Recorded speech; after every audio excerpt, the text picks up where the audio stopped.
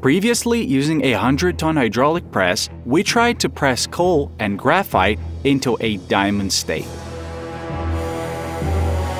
But unfortunately, we failed. And in the comments, I'm often asked to try this experiment using a 500-ton hydraulic press. Let's first understand how possible this is. For creating a diamond, graphite is better suited because the carbon content in it approaches 100%. The transformation of graphite into a diamond occurs at a pressure of 50,000 atmospheres and a temperature of over 1,000 degrees. When we tried to compress graphite in this cylinder using a 100-ton press, we managed to achieve a pressure of only 15,000 atmospheres, which is three times less than required. In our case, the pressure inside this vessel is equal to the force of the press multiplied by the area of the piston. To achieve a pressure of 50,000 atmospheres in this cylinder, it would require an effort of 350 tons.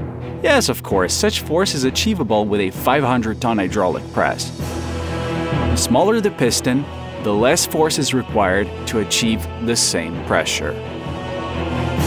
For example, for a piston of this diameter, to achieve a pressure of 50,000 atmospheres, it is enough to apply a force of only 96 tons. And for pistons with a diameter of 1 centimeter, it is enough to apply a force of 40 tons. Well, again, the question of the strength of the piston material is acute. It's time to move on to the practical part. First in line will be a vessel with a piston diameter of just over 15 millimeters. The piston material is steel 45 hardened to 40 units on the Rockwell scale. I wonder what load this whole structure will withstand.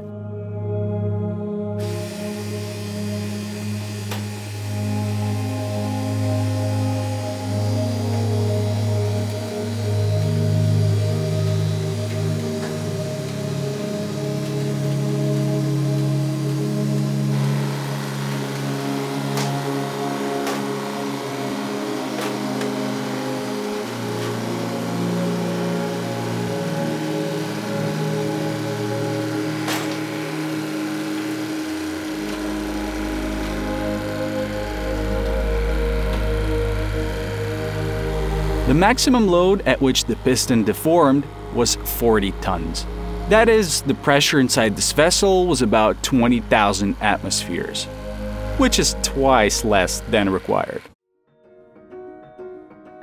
The piston was crushed and got stuck inside the cylinder. And the graphite was compressed into this black tablet.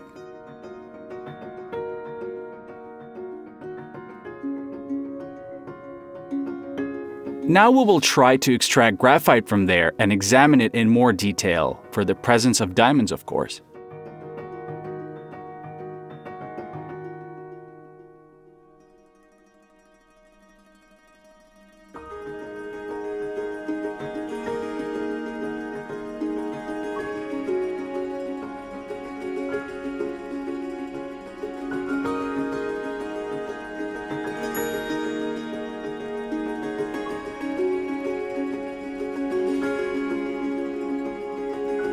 Well, at first glance, it doesn't smell like diamonds here, and at the second glance, and a third glance too. We will continue the experiment. The piston of the second vessel is made of high-speed steel R6 M5 K5. This is perhaps one of the hardest steels, if not the hardest. Hardness over 60 units on the Rockwell scale. The piston diameter is slightly less than 10 millimeters. The required pressure of 50,000 atmospheres in this vessel is already achievable at a load of 40 tons.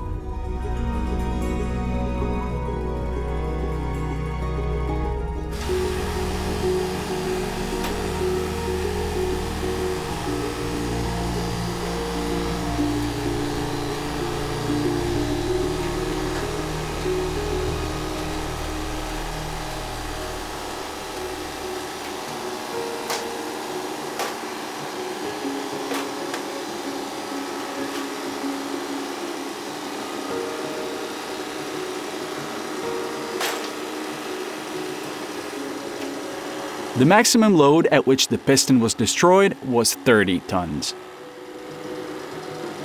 The calculated pressure inside the vessel was no more than 40,000 atmospheres. Which is already not bad. We at least somehow approached the mark of 50,000. As you can notice from this experiment, the strength and hardness of the top steel is not enough to achieve the required pressure. And we still haven't taken into account that all this should be heated to 1000 degrees minimum. We remember how steel behaves at a temperature around 1000 degrees. It becomes slightly harder than plasticine.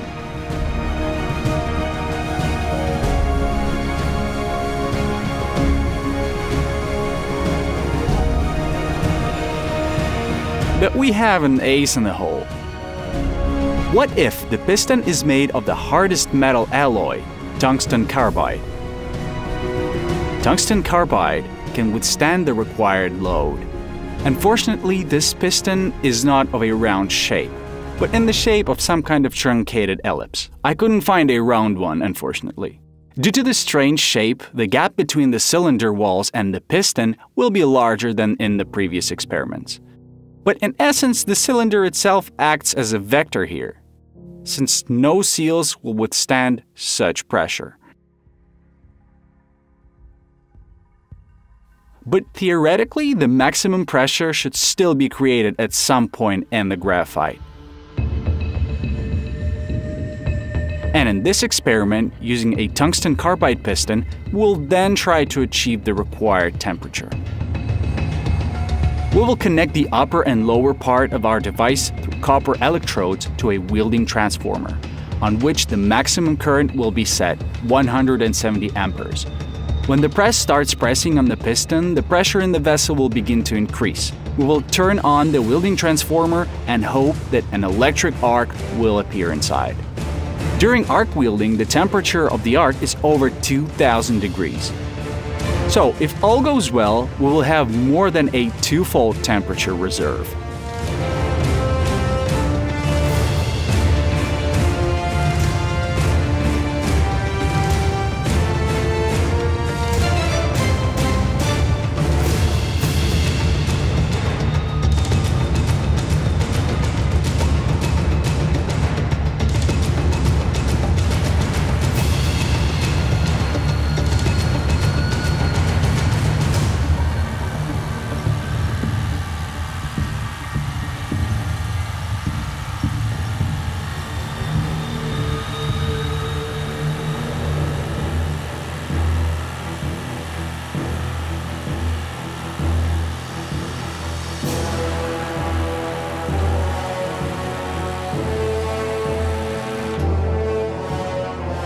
When the press developed efforts of 60 tons, we turned on the welding transformer and after a second, our circuit breakers were tripped. The light went out, but the press continues to hold this load. Within a couple of seconds, the light appears, the welding transformer turns on, and the press finally destroys the tungsten carbide piston.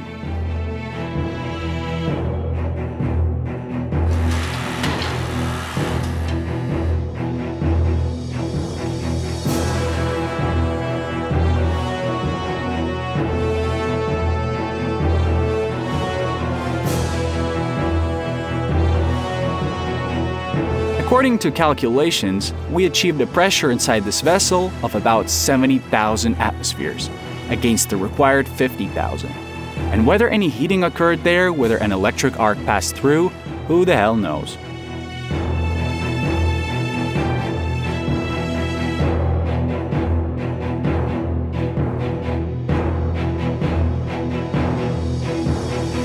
A dent like this pressed into the lower base made of hardened steel and there are fragments of crushed tungsten carbide in the upper punch of the press. I assume that due to the gaps between the cylinder and the piston, the graphite would escape into the gaps, and the piston would simply hit the lower part of the press. But no, the space here is still filled with graphite. I was eagerly digging out this graphite and really got scared at this moment.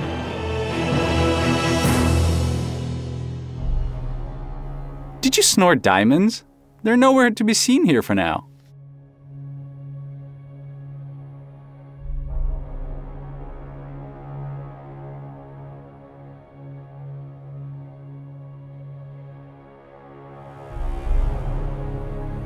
And here's a mess that turned out on the steel base of the press.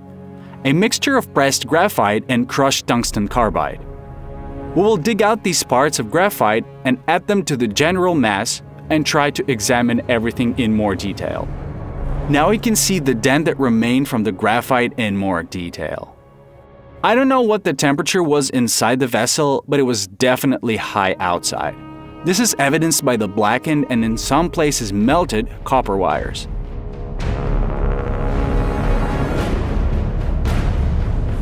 I just couldn't figure out how to take a closer look at all this. Nothing is visible to the naked eye here, just black graphite. But then the cat gave me some advice.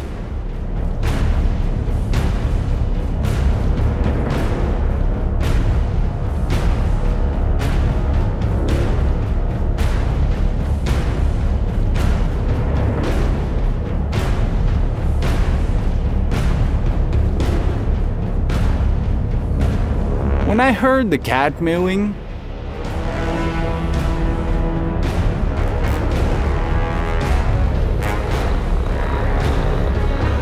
I remember that I have macro rings for the camera lens, which in essence turn the camera into some kind of microscope. Let's try to examine these three piles of graphite in more detail using magnification. This is what the graphite looks like after the first experiment, where the pressure was 20,000 atmospheres. Besides large pieces of graphite, nothing else is visible. And here are how much smaller pieces of graphite were obtained as a result of the second experiment, where the pressure was 40,000 atmospheres. I have no idea what a diamond obtained from graphite as a result of its pressing should look like, Therefore, I didn't pay attention to some inclusions right here. There were a few of them and they stood out from the general mass. By the way, this is what a piece of copper wire looks like. But when I looked at a handful of graphite after the third experiment with tungsten carbide, I realized what a diamond obtained from graphite looks like. These barely noticeable yellow inclusions are nothing more than diamonds that we really managed to extract using a hydraulic press, a welding transformer, and some luck. Most of these fasteners such an elongated shape. I don't know, but I assume that the electric arc, as a result of our experiment, still passed inside. The appearance of these small diamonds in a handful after the second experiment can be explained by the fact that I slightly overdid it. I slightly poured graphite from the third handful into the second. And here you can see a piece of melted copper wire. And by the way, copper melts at a temperature of over 900 degrees. I'm honestly in shock from this experiment. Who would have thought that you can create diamonds yourself? Of course, the cost of this method of obtaining is questionable, since in this case we used a 500 ton hydraulic press. The cost of a new such press is about $100,000. And our diamonds here turned out, let's say, not the largest ones ever. The diamonds turned out to be so small that I can only see them through this microscope, so to speak. They're not noticeable with the naked eye in this black pile of graphite. And these are yellow industrial diamonds. Their cost is slightly less than of natural diamonds. By the way, about a year ago, we tested technical yellow diamonds for strength with a hydraulic press. I accidentally managed to hook one of the largest pieces with the needle right here. Now let's try to measure its size with a micrometer.